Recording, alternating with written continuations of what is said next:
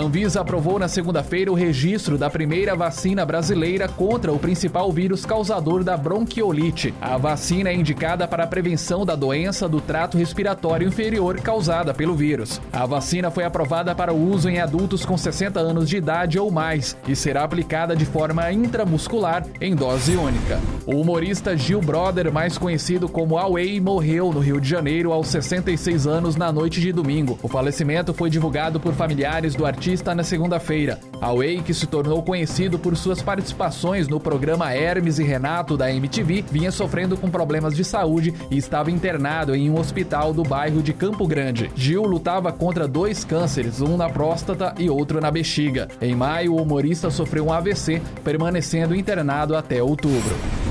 O Conselho Nacional da Previdência Social aprovou na segunda-feira nova redução dos tetos de juros dos consignados para beneficiários do INSS. O limite para o empréstimo com desconto em folha passará de 1,84% para 1,80%.